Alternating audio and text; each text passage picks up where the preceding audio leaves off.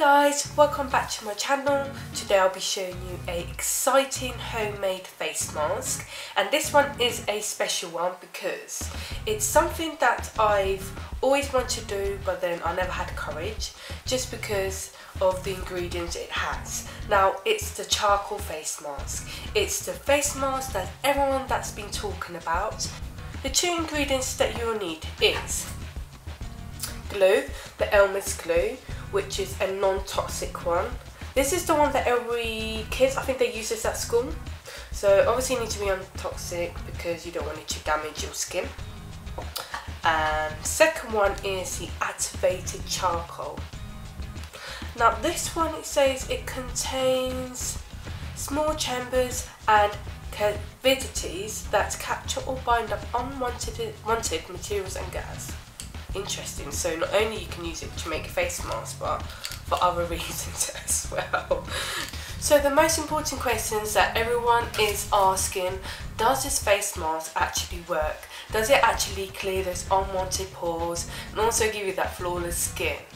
Now, do these actually work? Well, I really hope so it actually does. So why not join making this face mask with me and we'll soon find out at the end of this video. Right, so first of all you need to make sure you have a bowl. It can be any bowl, it can be a small one. I've got a clear one so you can see the face mask. Next you need to grab uh, the charcoal capsules. So this is what it actually looks like. Now I'm going to grab about three. What you need to do is twist it and try and see if you can open it. And this is how it should look like. Grab another one. Oops! Great, made a mess. So this is what happens when you're making a face mask and you're making a mess everywhere. Next, be grabbing the Elmer's glue.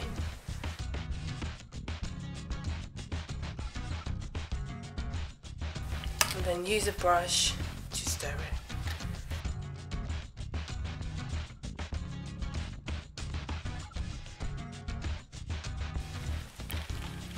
Just going to add a bit more glue.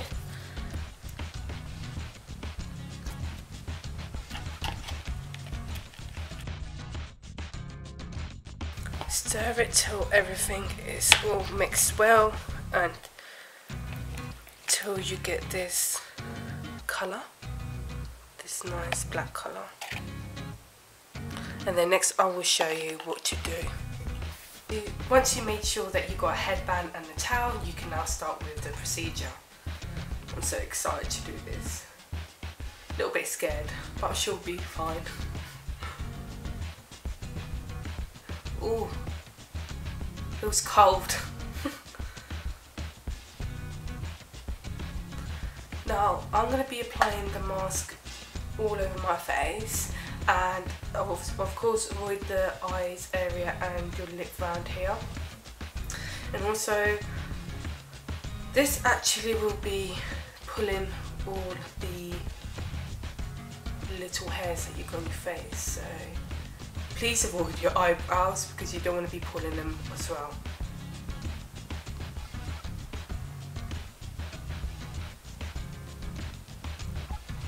I'm going to be applying a thick layer so the mask will work out properly.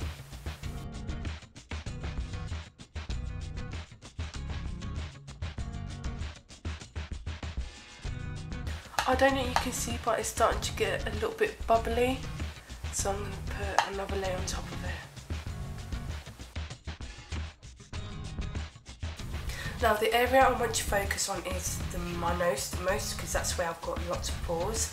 So when you're actually making this mask, um, just focus on areas you want to um, pull your pores out.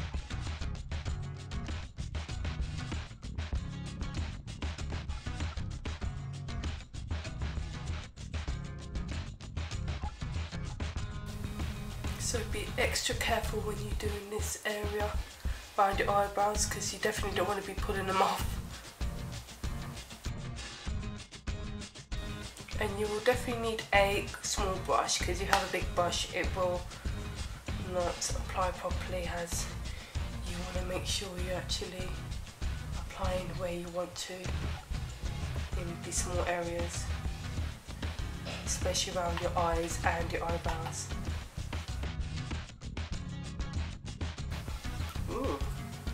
don't I look beautiful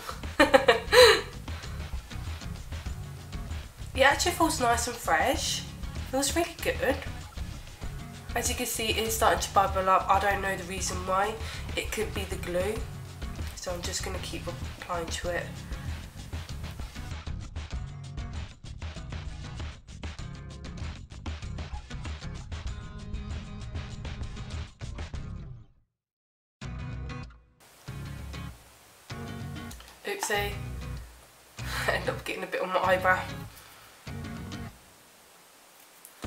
Don't want that, do I?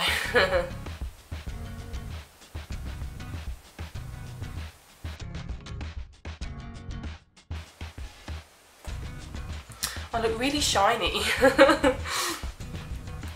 Probably end up scaring the kids away with this face like that.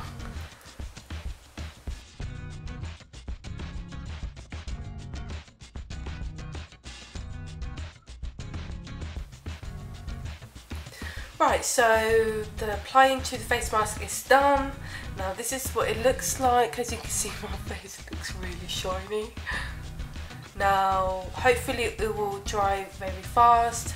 Hopefully be about 20 minutes, if so maybe more. Fingers crossed this will all go well.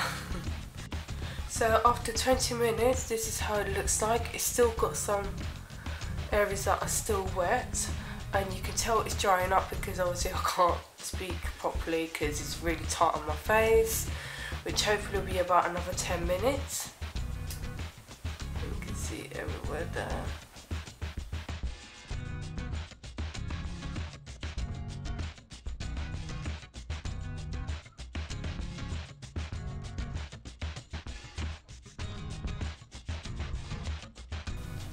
So guys, it has been over 30 minutes and I still have wet patches over here, over there. It's still wet as you can see.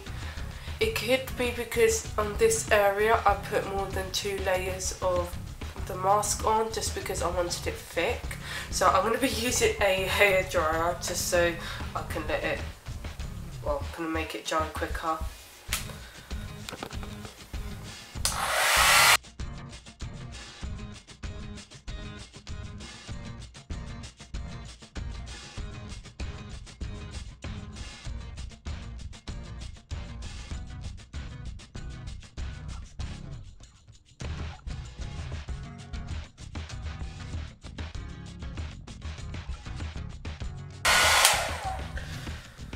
Okay, so, wow, that took long.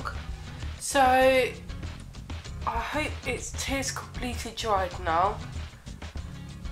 Because if it's not, then this will actually work. So, but it does feel it's dry.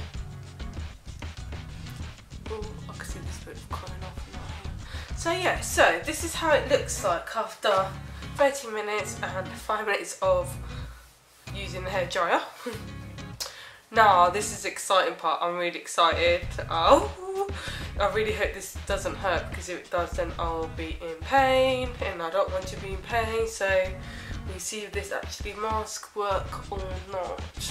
Let's start. Oh. Oh. Oh. You know when you like, I can feel it. I feel like it's pulling a bit my hairs. okay. I've got to do this really slowly because I can tell it's going to hurt. Right, so I say start on the edge here because it'll be easier to pull it.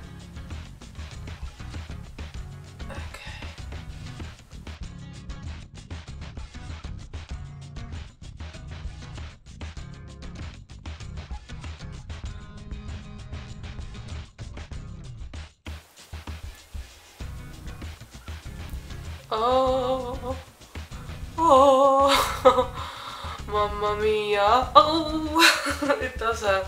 Okay. Deep breath. I can do this. Right.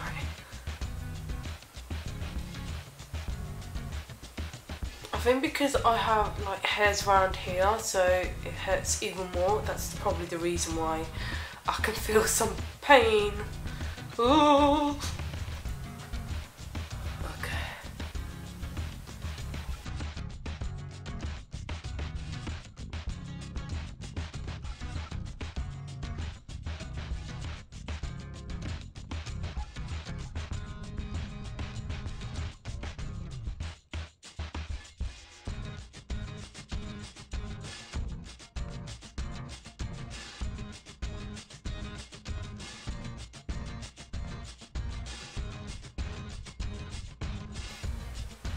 Oh, this area, especially around the eyes. Oh. Woo! okay.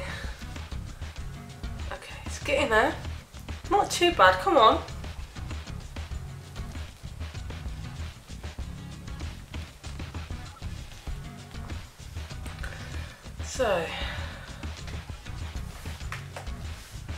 Getting in there slowly. Getting there.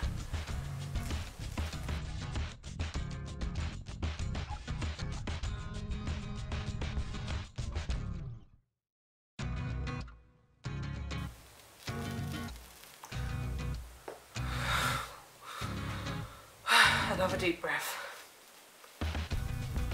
Okay, so it's not too bad. It's just round when you know round the edges, it's starting to hurt a little bit, but then you get used to the pain.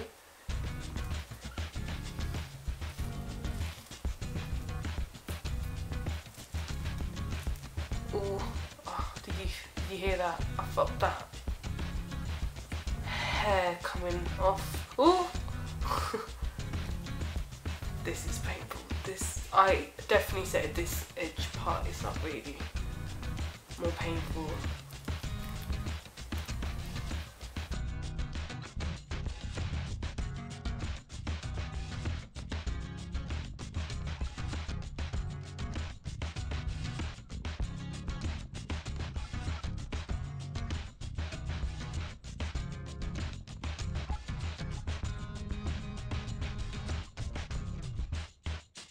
Now this is going to be the hardest part.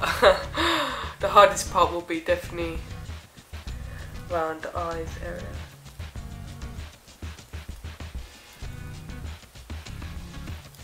Okay. Now I'm going to keep the nose to the last part because that's the area I want to clean my, my, my claws, my um, paws.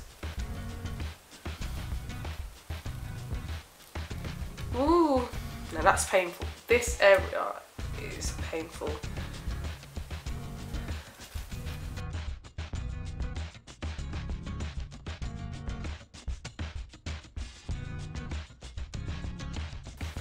Wow. I've did it guys. So after all of that, this is the the mask that just came off my face. Now, by looking at this, I can see my hairs has been pulled off and a few of white hairs. Now, I don't know if you can see it, but hopefully you can.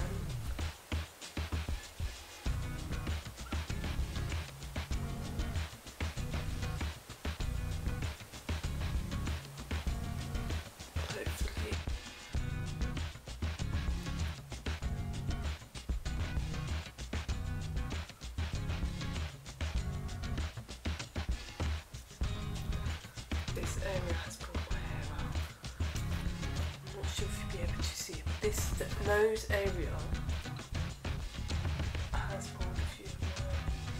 Right, anyway, so that's my beautiful mask that I've taken off the face. Right guys, so after you have rinsed your face and took all the excess charcoal you had left, this is how it feels like. This is the result. the skin feels really nice and soft and smooth but the only negative side to it is that it does give you some soreness because I'll have a red patch over here and I think a little bit over here as well. Now it's normal because obviously I did have glue on my face and when you pull it, it is a little bit painful. Now according to my previous question before, does this face mask work? Yes it does work. I probably expected a bit too much in terms of pulling all the the pores out of my nose. It didn't take that much, maybe I don't have any, but I was expecting a bit more. Apart from that, from the face mask, I can see there's been a lot of, sorry, don't worry, a lot of facial hair that's been pulled. So yeah, it does actually work. I would recommend this if you have loads of pores around your nose. You don't have to do it all the way around your face. You can just do your nose and the top bit there and the bottom of the chin the areas really where you want to focus on really. Guys, if you have enjoyed my video, please give a like and subscribe. And if you are trying this face mask yourself, please let me know and tell me what you think about it. And I will see you on my next video. Thank you. Goodbye.